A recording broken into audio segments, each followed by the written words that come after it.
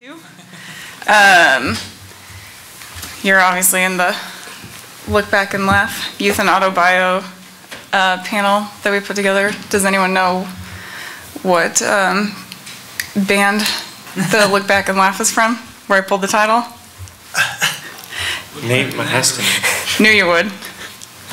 Oh, it's Minor Threat. Yep, yeah, that's a little minor threat. Well done. Thank you. Um, Housekeeping, just a little bit. Um, Please exit through the door to your left, so when we bring the new people, we have a nice continuous flow. Um, If time allows, at the end of the panel, there will be a Q and A, and because we're recording for our YouTube channel, it would really help our video sound person if you could use the microphones on either side. Um, You can uh, step up behind them as we have time for Q and A. I'll leave that up to your moderator. Um, She'll be in charge. And cell phones, turn them to quiet.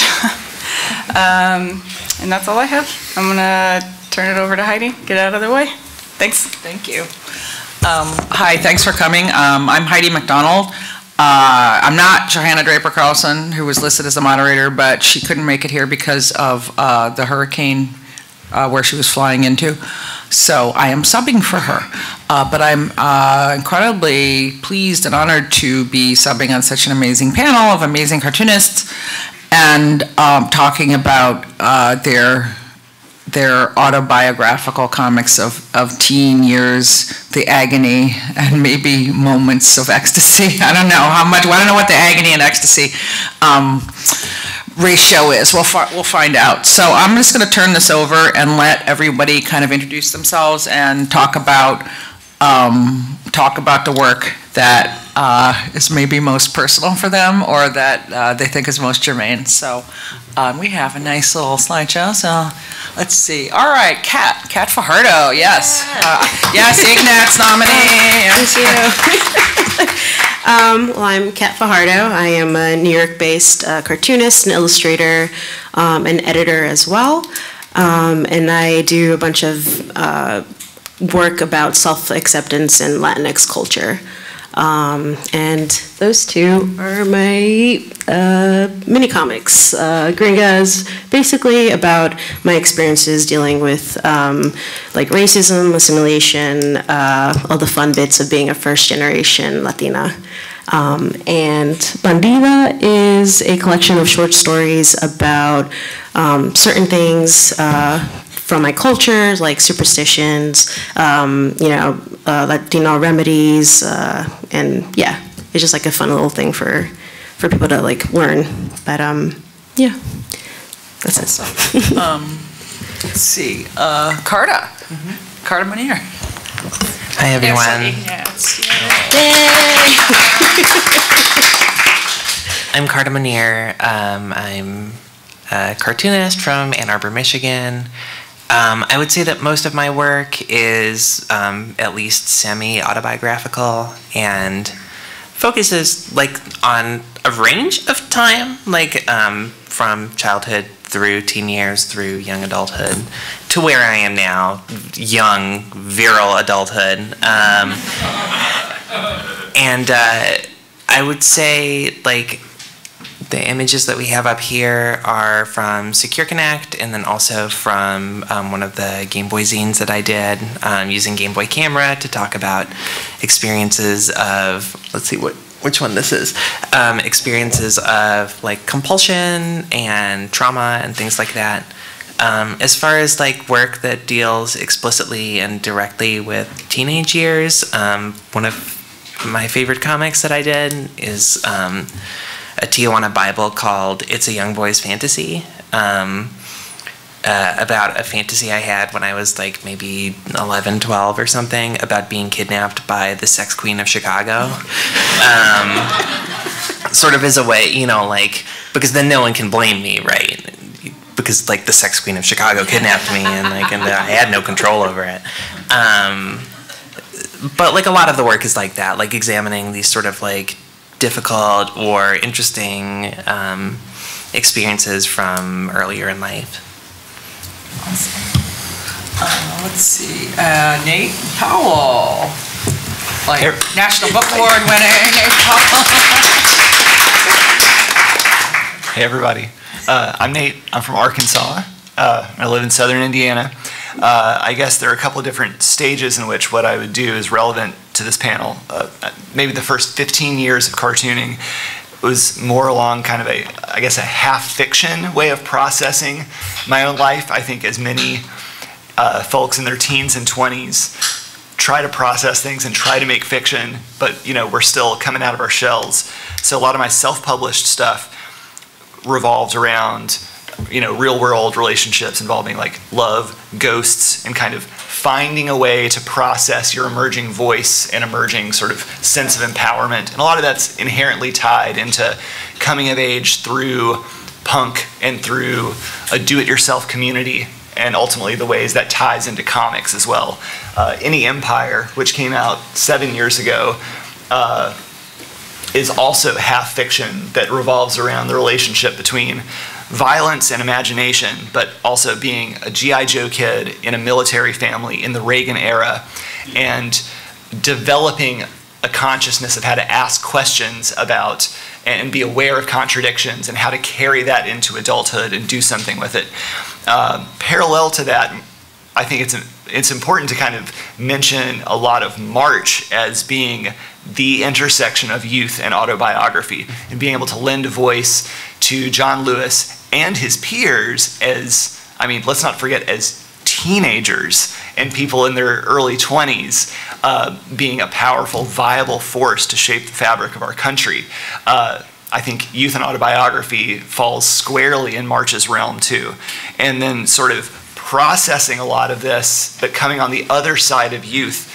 My newest book, Come Again, is pure fiction, uh, and it's like a horror mystery story that processes a lot of also my life now as a parent uh, and watching my growing awareness of like the limitations of like darkness protection and then like the dynamics between openness and privacy and secrecy but watching it's not directly uh, commenting on my kids' lives growing up as their worldview expands. But as I was making the fiction, it was really weird watching my kids' world and experiences echo what was happening in here as part of the universal experiences of being a tiny human becoming aware of darkness, danger, risk. Awesome. Um, and Dash, I, I, I was talking to Dash before and I said, I, I have known Dash the longest and probably, he wasn't a teen when I met him, but you were probably. I might have been. I think I went to my first SPX when I was six, 17. Yeah, you were an early achiever. Uh, but anyway, yeah, you've been doing stuff for quite a while. That's Awesome. been, this one's distorted to be, look like a different ratio. But, uh, Yeah. um, Scandal. This, this one, uh, um, the one on the left I did, uh, that's kind of about, um, teaching English overseas. And it's been, and I taught English from my junior year of high school, leaving Richmond, Virginia, um, south of Nagoya, Japan, to try to just, I wanted to just leave Richmond, and it was through a program called YFU, and so they would put you in the middle of nowhere um, to speak English to um, to kids who wanted an English, a native speaker um, that was their age.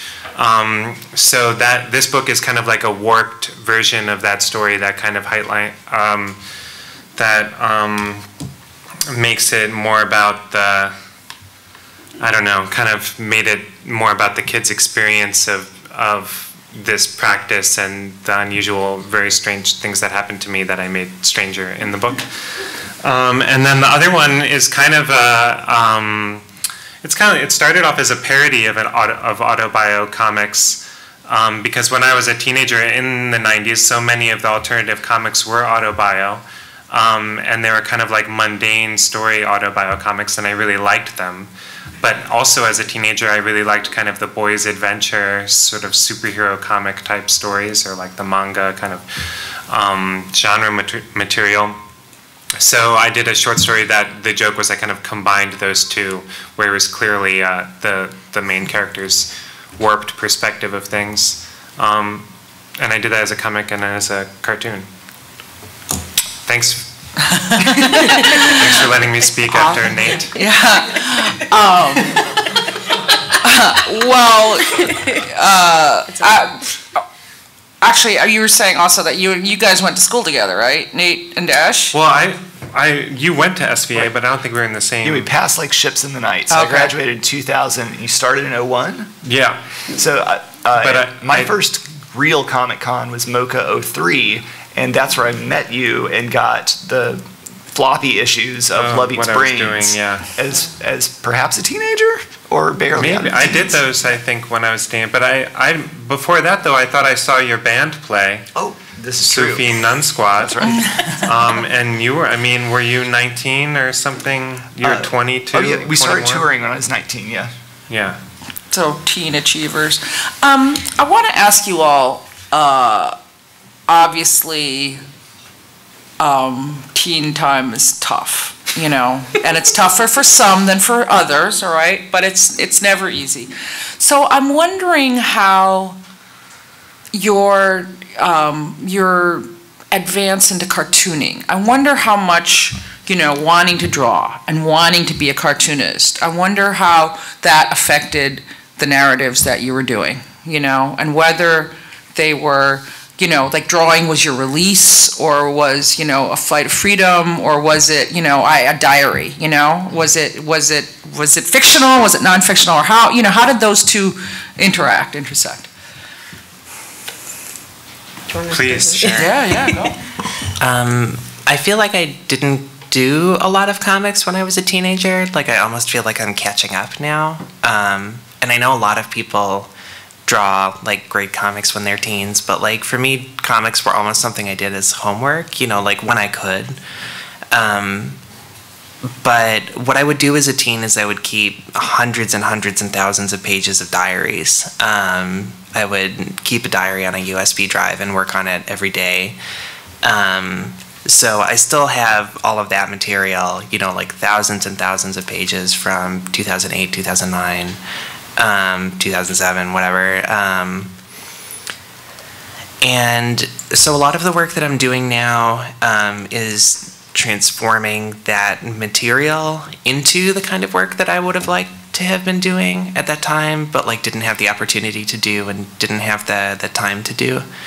Um, and I would say like getting to do that now does feel like sort of a cathartic release. You know, it's it's like I'm getting to revisit this material in kind of like a safe way, looking back, as opposed to like that. You know, and like you read your old diaries and it's all like just the dumbest shit, right? Like, I don't care anymore about like how this or that friend betrayed me at lunch or in whatever. But like I did at the time, and like it's fun to be able to go back and look at that in this sort of removed way and almost read it as if it's like a letter from like a younger sibling or someone that you feel tender towards. Dash, you were making comics. Yeah, um, I grew up with comics around the house. My dad read comics, a lot of comics. Um, I always wanted to be a cartoonist since I was very tiny, and uh, um, my mother's a play therapist, so that kind of felt like she encouraged it, um, maybe. Uh, so I was, uh, you know, psychotically devoted to it, um, drawing lots and and doing zines, and I did things for the Richmond Times Dispatch and um, illustrations, and and it's all horrible, and I and I wish I could go back and obliterate all of it, um, but. Uh, and and it also um, I was just so focused on it that everything else I think it was kind of wonderful. Um, you know I didn't like just as an example I didn't like have like a drink of beer until I was like 24 or something. Like I was not going to parties or I was just really just focused on comics um, and uh, I, gu- I guess I'm glad that that's how it worked out And look at you now, Yeah. a nerd. yeah Dri- an alcoholic No, Yeah. Um, yeah, I started, uh, so I was really obsessed with manga and anime, as most people of our generation is. Um, but I didn't really get into diary comics until after uh, SVA. Um, so, like in SVA, they would assign us uh, assignments every weekend. Um, kind of like experiment with different materials, different techniques, uh, how to make this kind of comic and whatnot. And um, after college, I wasn't really happy with the materials I was producing or the stories. Um, I would come come I would uh, create and assemble like mini comics for conventions like SPX and and you know local shows, but uh, I wasn't really happy with the material itself. Um, and by that time, I was already doing diary comics, um, but for myself. They weren't published at all. Um, and I was really afraid of that unfiltered uh, aspect of just like people can look into my brain and my feelings and stuff I haven't had the courage to, you know, tell anyone. Um, but then I was like, fuck it. I'm just gonna like, I'm just gonna make a mini comic and just, you know, do whatever. Just uh, take this page out uh, of this comic or diary comic, and that's what. Um, basically, that's what Gringa was. Um, just like all these feelings I had of just uh, like cultural, like being Latina in, in America and and all the shit my family has been going through, and I just want it all in like one little booklet. And I was I did not care that anyone didn't relate to it or whatever, but it was out there, and I'm kind of glad I did it because now people are reaching out to me and like, yeah, this is, I identify with this story a lot, and please make more. Um, and from there on, it kind of clicked. I'm just like, I should start making comics like this because it feels more meaningful. Um, and from there on, I just been doing a lot of mini comics of just autobio stuff. So did all three of you go to SVA? Yeah, Wow. Okay. 2013, Should have sponsored this. they have the money. Hey, what were your teenage comics readings? Well, I, I started uh, I started drawing comics in 1990 and started self-publishing them in 92. So that would have been the beginning of ninth grade. Uh, it's important. I feel like it becomes more important year after year to stress that like Arkansas pre-internet, there was such it's such a desert of information about like how people make comics, uh, access to like well, I mean having the one comic shop in town, but importantly like I really was not aware that non superhero comics existed until I mean, maybe like not counting like underground ninja turtles or whatever. You know like it might have been i caught some windows through cerebus or something. But when i my first several years of comics were like guns and boobs oh. dystopian superhero comics. When i stopped being interested in superheroes i because of like that, that drought that desert of uh, of uh, proof of concept i was trying to write stories that would either like an early one as a teenager would be basically like adolescent punk rodents doing normal adolescent things and then in 12th grade i collaborated on this uh, thing about like some high school revolutionaries who try to overthrow their school and it goes horribly wrong. Um, but when i look back on these both of those narratives were basically you know like without the powers they were superhero power struggle narratives. And so it really wasn't until 96, 97 when Al Burian's The Long Walk Nowhere, published by Migraine, uh, and Chester Brown's I Never Liked You, like blew open the doors to make me understand uh, how, how deep and wide comics were, but especially like Al- that Al Burian comic.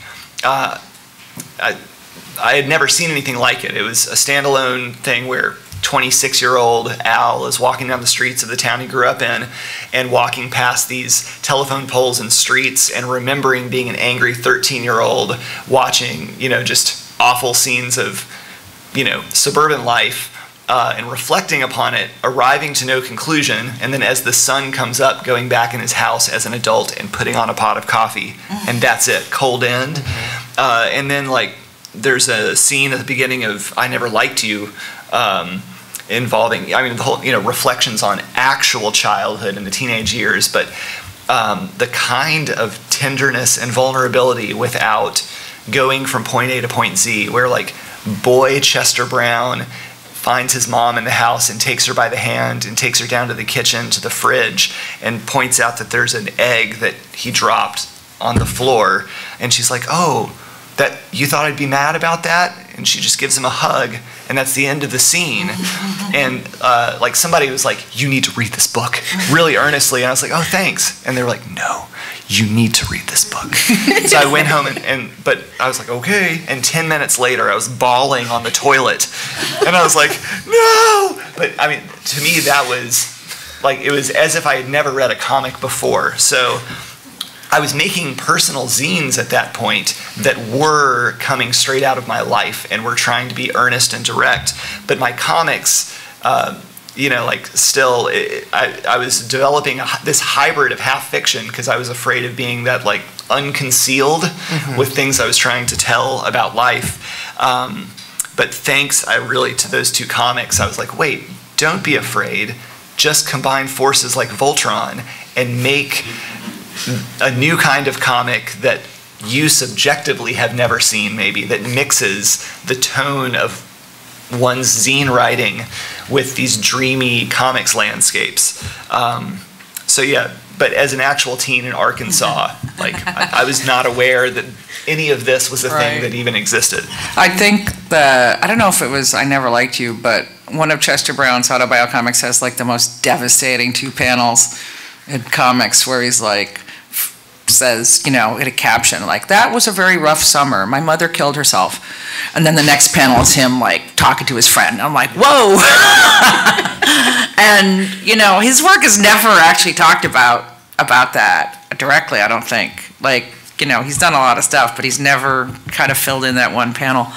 Um, you know, I saw that yesterday on the, the trans narratives panel, which was so fantastic, and um, I think it was Maya who talked about like like her, one of her like moments that she remembered. Remember, she was talking about dressing up in this weird costume and and how she didn't put it, or pardon me, I'm using the wrong pronouns. I apologize for that. How Maya didn't put it in the right in the in um, into her uh, into Air Comics.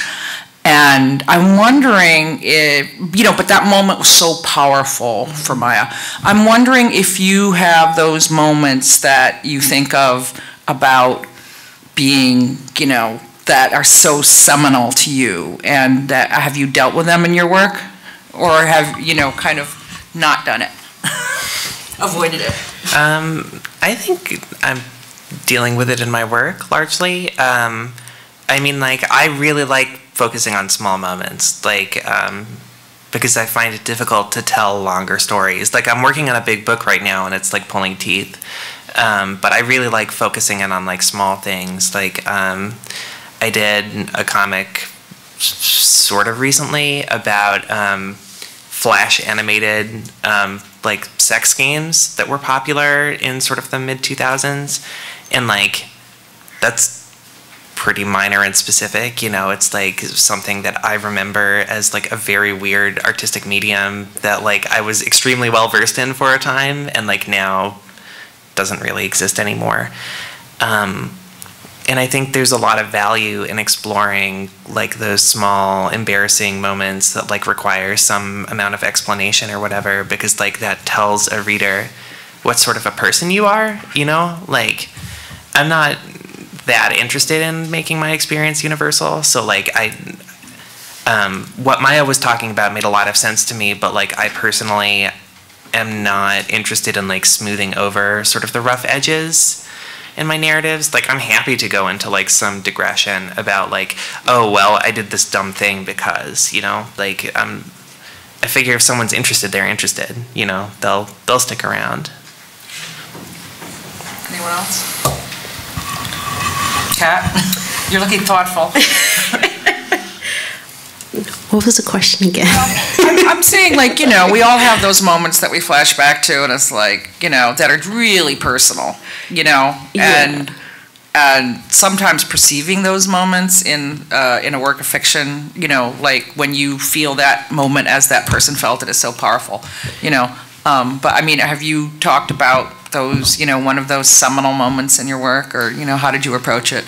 I feel like I have an easier time um, well, recently I have an easier time writing about uh, silly moments or day-to-day life stuff.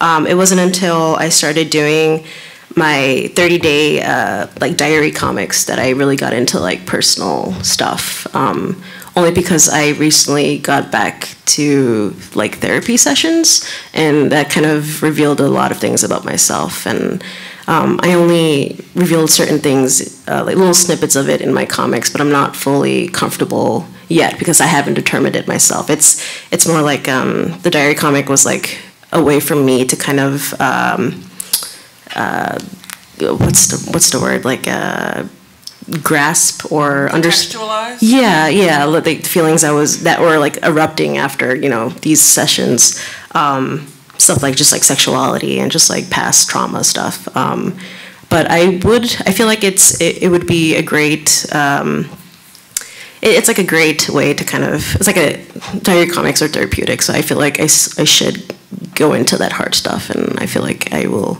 uh, find a way into grasping that again but it's really hard it's because it's you're showing your rawness to people and, and even though it's you don't really see the readers um, personally but it's just it's there in paper and you can't take it back So, Can I ask a question, Heidi? yeah, go for it. Um, when you all are making diary comics, do you find yourselves like bumping into things a lot that like you feel the need to hide or change? Because like something about like the medium as it currently exists is that I feel like a lot of the ground has been tread. You know, like people have depicted themselves doing like every possible embarrassing thing almost, you know, right? Like um it's not, you know, like there was a point in diary comics where you could be like, well, I drew myself taking a poop, you know, like that's, but like, you know, like at badge this, of honor. right? Like at this point, it's like, okay, you know, that's fine. We've seen it, you know, like, um, so are you bumping into things when you're making diary comics that you're like very earnestly afraid of depicting? I think, uh, yeah, that, that was really, that was the thing I was kind of like trying to scribble about. I, I, I think that with a lot of that, we're still, I think, and I think everybody who is who makes autobiographical or memoir narratives, on a spectrum, you're finding the degree to which you still need to conceal an experience, especially one that's dark, traumatic, formative, uh, so that you can talk about it. But I think like what to what degree you fall on that spectrum is, is a very subjective thing. But uh, like like what I was thinking about really was something, even something like, um, yeah, like there's there's like a very it's one of the like minor one of the plot points in any empire uh, that has to do with like these these twins who are like in a, a, a sibling cult basically. And the mystery element is basically someone is mutilating turtles in the neighborhood. And sarah one of the protagonists has like a nancy drew mission to get to the bottom of it. Um, but you know like there are these moments where like you're as a as an older child even you know like minor flirtations with weird things like you know like animal cruelty or like mm-hmm. discovering you know discovering things against defenseless creatures. And mm-hmm. as you're doing it you're aware that that something is happening that is very wrong. Mm-hmm. But like the way that especially as like you know like as a southern lad growing up in a hunting and fishing culture where like there is a spectrum of like the way that people interact with animals and the way that interact people interact with people. But like in those moments as a child like you you can it's almost like you see yourself packing that bag and putting the baggage Right. up for way later. And uh, even like you know like i've you know i've never even verbalized like there being a degree of truth to like a weird like animal cruelty plot point because i'm like i'm still not ready Right. and it's it's like such a mi- like it's it's actually like a minor thing Right. like i killed a frog once or whatever Right, right, right. but like uh, uh, so using that as a minor kind of example like yeah like bit by bit you Yeah. figure out which bags you're ready to unpack and to what degree and there's not an objective measure of how that works and that doesn't make it less autobiographical Right. Like, would you say that you're afraid of it reflecting on you, or is it more afraid of engaging with it both as a okay? i think both yeah Because I feel like as far as the reflecting on you, you know, like again, that ground has been tread so much. You know, people put such horrible things in their autobio comics, right? And I feel like there's almost an understanding from readers that it's like a somewhat safe space to talk about these difficult things. You know, like if you're like, I did this bad or embarrassing thing, there's sort of an expectation that someone isn't going to read that comic and then turn around and be like, I know your evil secrets, right? Um, so like personally, if I read a comic where someone was like, when I was a kid, I, you know, I killed an animal or something, I would be like, oh, that seems hard, but like I would be upset on their behalf because I would know that that's difficult as an adult more than I would like be like, what a monster. Right. Nate Powell, frog killer. Right. It was until you saw he sold like frog's legs at his table. Now I have a different context. Surprise. No, yeah, I think I think it's both though. But part of that is because like mm, you know, storytelling involves a contract. Like we're creators, but we're readers too. Mm-hmm. And so like and comics is a social as well as a creative mm-hmm. and like it's an industry too. But like especially in an environment like a Comic Con, there's a social exchange as well. So there's like a a self-referential or like really like a selfish impulse to like mm-hmm. frame things through yourself. Like Right. if I let this out, it's about what comes back to me. Right. Instead of yeah, be, being a part of something and being far from alone and sharing even some of like the the darkest experiences of our lives. Like that's the point. Right. None of us are alone in the in in many of those darker uh, darker chapters of our lives that that made us. Right. Well, I, but, you know, I think one of the most interesting things about, you know, like, there is a grand tradition of autobiographical comics, obviously. And, um, but, you know, Nate and Dash, you do fictionalize a lot of it, you know, you, I mean, have you done, like, Dash, have you done, like, really autobiographical, like, I was here and I did that? Some, I think some, some, I, I, I think some things. I, yeah, something for Uncivilized that just came out like a structures scene, and and a lot of things come. Um, and I wonder sometimes, well, why can't it just be, you know, what is the motivation even to to fictionalize it or change it? And I don't know. I don't. I honestly don't think it comes from um, you know, not wanting to own own it or like wanting to hide myself or something. I actually like um, when experiences are super specific and not and not being changed to kind of be more general. And I feel like, especially um, with books that um, you know, prose books and comic books, it's such a one-on-one experience that kind of its function is to be very specifically personal, um, as opposed to like movies or plays that are, I think, experienced in communities or like you, like on the news, you'll see like crowds of people, whatever refugees or something, you don't know who they are. And I feel like literature, the job is like honing in on a specific person. Um, so changing the character's name to something else or altering, usually it's just to try to um, actually maybe combine more things that happened to me under an umbrella and all, you know, create, you know, making a, a whatever, um, mixtape of it into, into, um, Yeah. I, you know, the, the one question you always have to ask in a panel like this is, how does your friends and family react? Well, uh, yeah, like, uh, yeah, I didn't, I didn't get a lot of readership from the old family until I had a book out with the spine, and then all, you know, it's like, oh, this, oh, I get, this is a book. Right. People might read this. That's, we support this. Um, I haven't. Uh, my mom really likes any Empire. Uh, my my family's had like sort of like a really like wonderful, you know, like we get along well. We're we're not close in that way. They, like, and a lot of that may be like my older brother has autism in a pre-autism awareness era, and so it kind of changed the tone in the room growing up a little.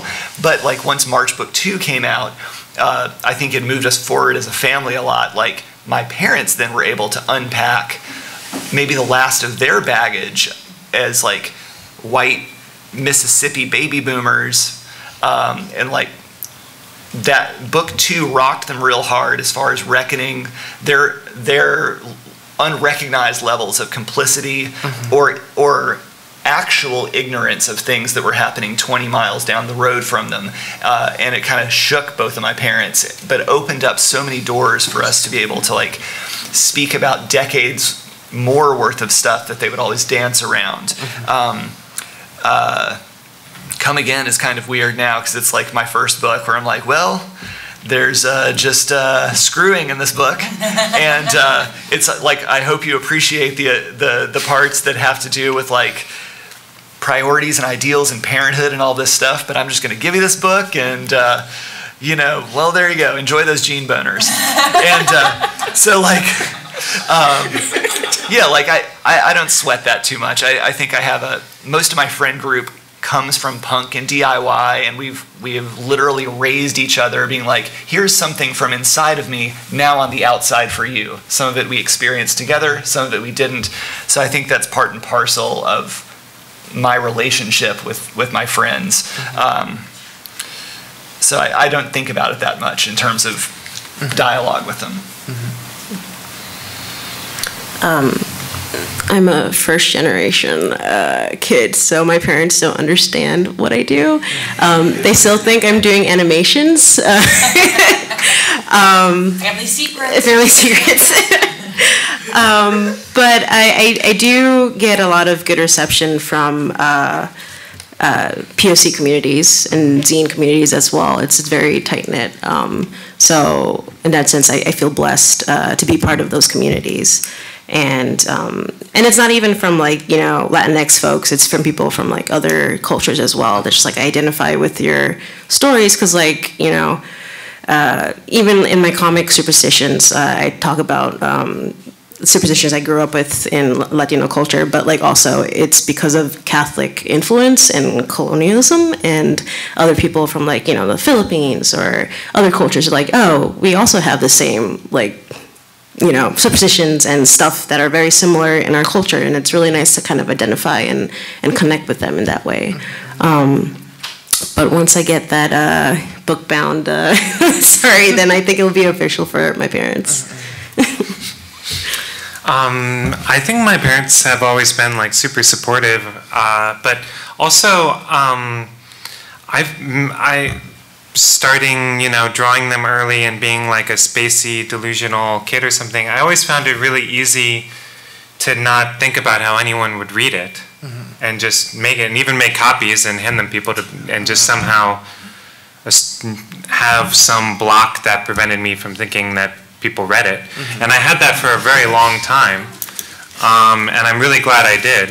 And I'm glad uh, um, that that you know when I started, it, the internet was not so much a part of it. Because I think if I was had started posting things on Tumblr at 17 and and kind of having like a people actually like immediately respond to it, I don't think I could have handled it.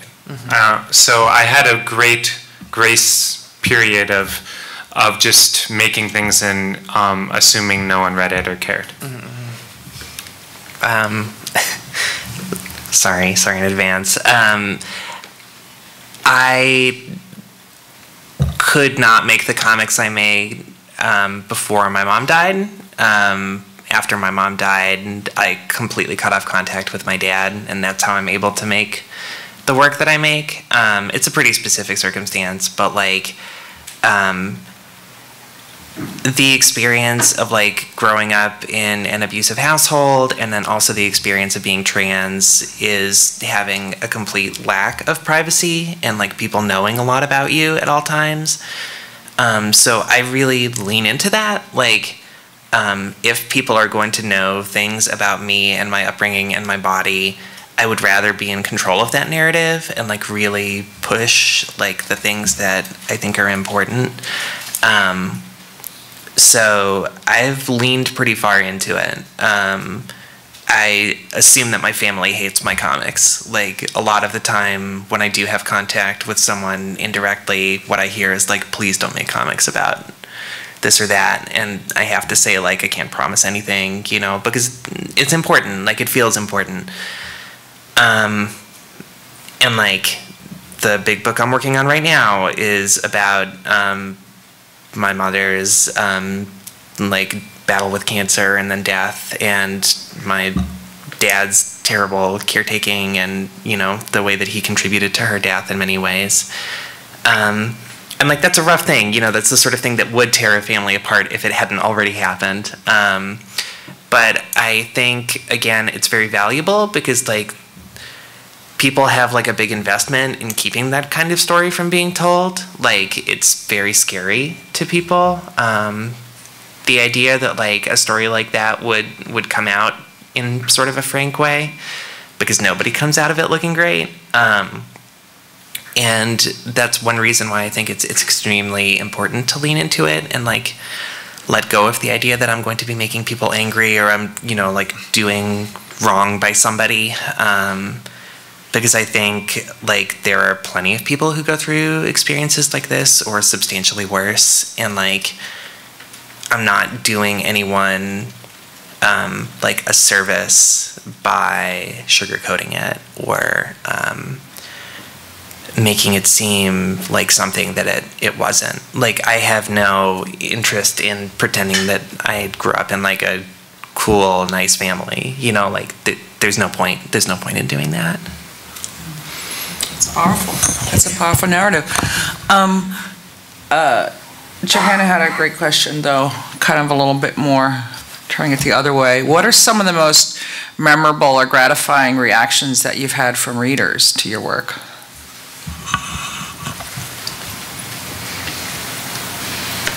I can go. Yeah, go um, I've had some uh, very, very young um, teenagers uh, like cry in front of me, and that is a remarkable, weird feeling. Like, um, because as Dash was saying, like you don't really assume that people are going to read your work necessarily. Like when you're creating it, it's very personal, and then when people read it, it's very personal. So you don't necessarily think that it's connecting with anybody in a substantial way. Um, but like I I'm starting to be like recognized by younger trans people. Um, in you know, like I'll walk by someone and they'll, be, you're Carta, and like that is a remarkable feeling, you know, to think that like because like all I'm doing is being publicly sad, you know, like that's like um but like that has power, right? Like that's that's super helpful to people. You know, it's it's helpful to me. I like people who do that. Um, so um, it is very gratifying when people talk about the way that that work has moved them or helped them through various sorts of things because like it it lets me know that like I'm doing what I intended to do. Um, for me, for me, with the thing that popped into my head, which I don't know is relevant, but when I I make animations and and um, being in those screening, like I did a, a Sigur Rós video and it played at um, Sundance Festival, and so you're in the crowd with it, and you feel a real time reaction to this Mm-hmm. thing, and it, and with animate with movies too when they play film festivals, and that's really freaky, and really not especially after making books where you might have an interaction with someone after they write you or so, something like that. But like a moment to moment kind of the temperature of the room or the energy shooting out of the backs of their heads telling you that they're bored right now or they're or they're not bored or they're really engaged or something um, uh, was a mind screw. Um, yeah I'll just leave it at that. Um, yeah, whenever I table at conventions or festivals, um, I get a lot of people come up to me and say that they either bought my mini comics or zines like at another like convention or show, and uh, or they like I don't know lent it to like a friend or something, but it's been passed around, and they would show me how like worn out it is, and I'm just like, oh, everyone's like connecting with just this stupid mini comic of based on a diary comic I made, and it's it's it's great. I I, I feel uh, really honored um, that people you know talk about my work um, with their friends and like, oh, I'm gonna buy this mini comic for my friend because I know they'll like it or they'll identify with it. Um, so it's it's gratified and I also feel like not worthy. but I mean, it's it's it's great. I again, it's the whole community thing, and it's it's so it's it's very. I feel very like blessed, but um, yeah, just encountering fans at conventions is really nice, and we can talk about um, our own experiences with like our culture and stuff, and it's it's really nice. Well, Nate, you've traveled quite a bit.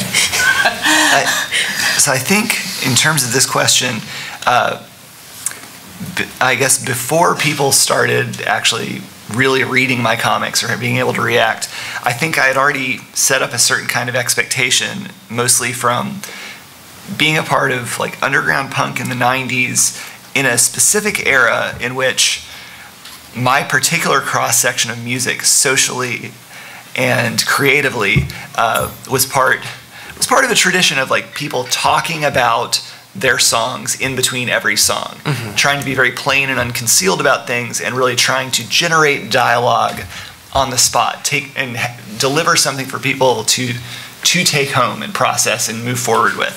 Um, but it wasn't, I guess, when Swallow Me Whole came out 10 years ago at this SPX.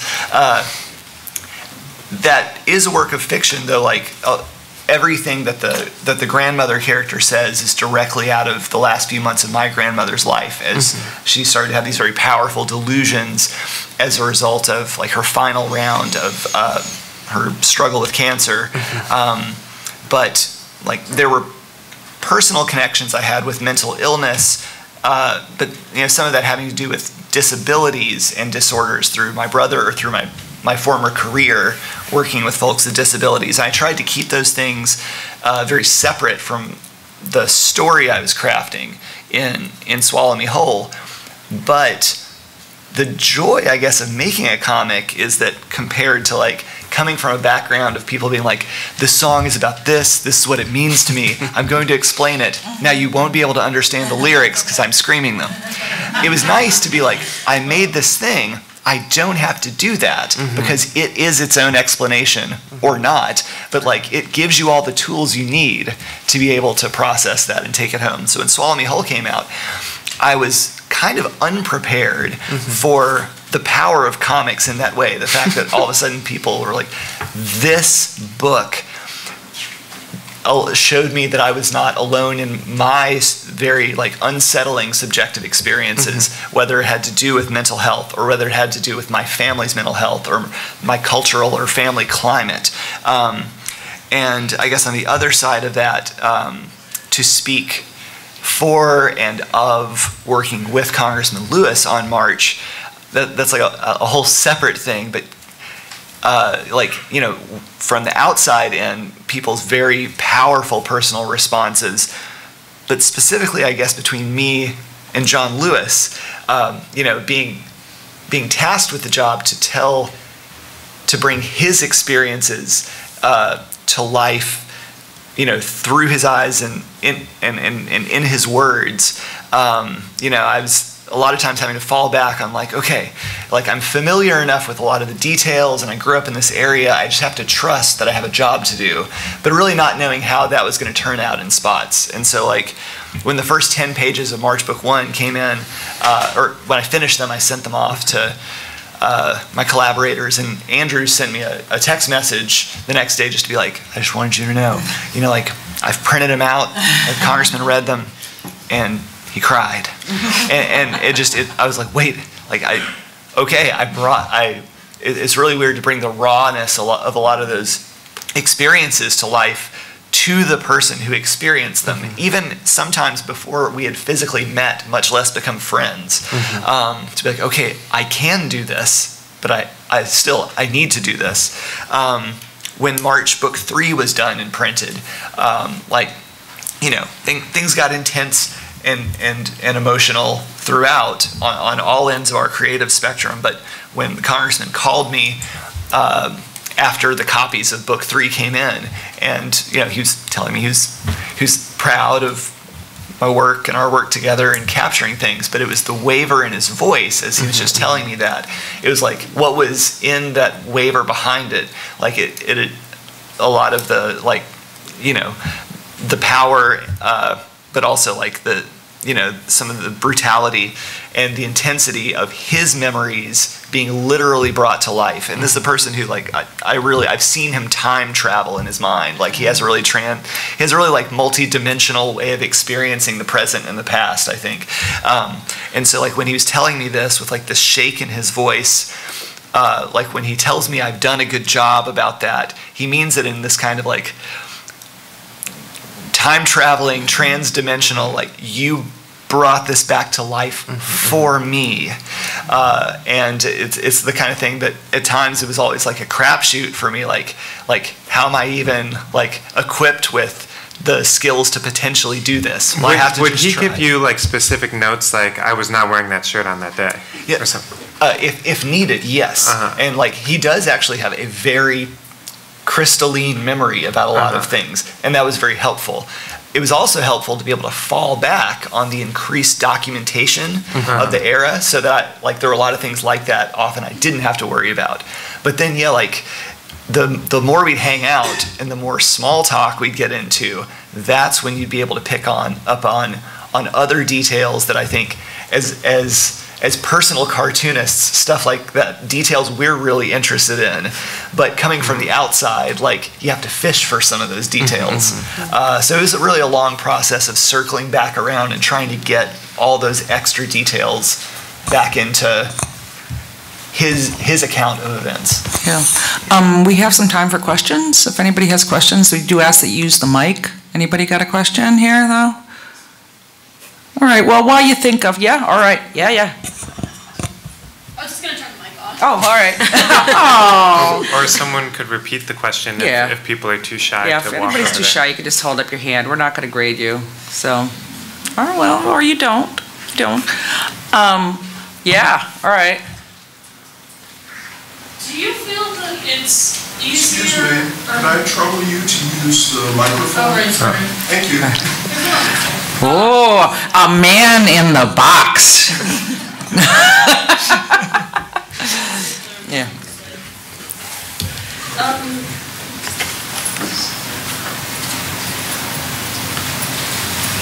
Okay, um, okay, there we go.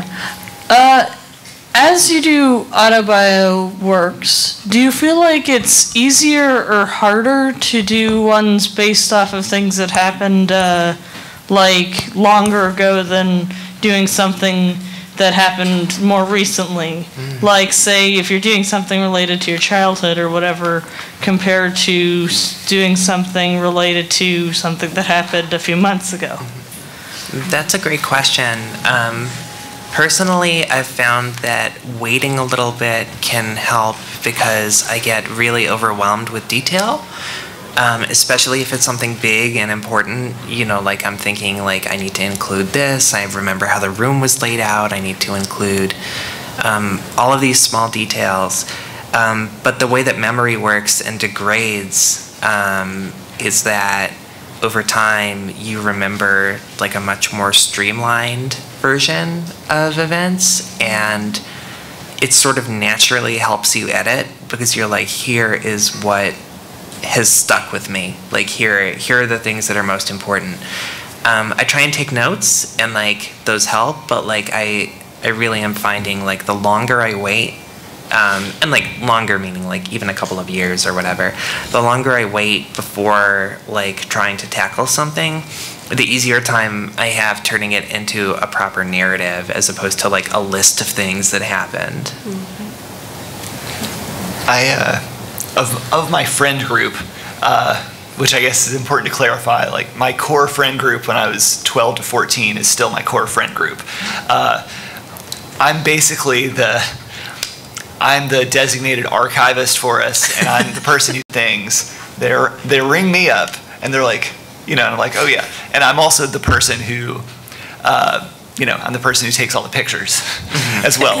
Uh, and, and that's of significance because, yeah, at a certain point, especially with streamlining and degradation, uh, there is a certain point where I've had to recognize that I'm like, oh, right, what I possess as photographs now has become the structure of our collective Right. memory. Yeah. And, uh, and so uh, when I was younger, I had a lot more bandwidth, and I I did enjoy. I think um, dealing with things when they were fresher.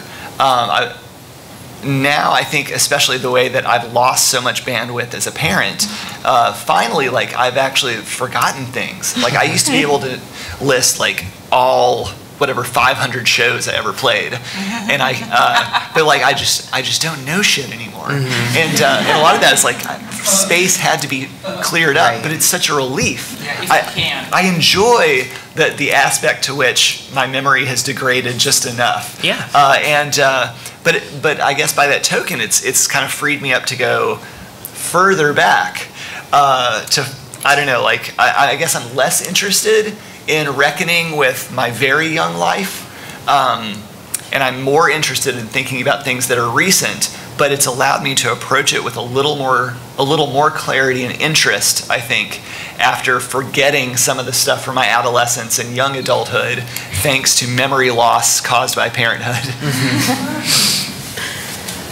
Thank you so much. Thank you. Thank you. Thank you very much. Out there, anybody else got a question? Yeah.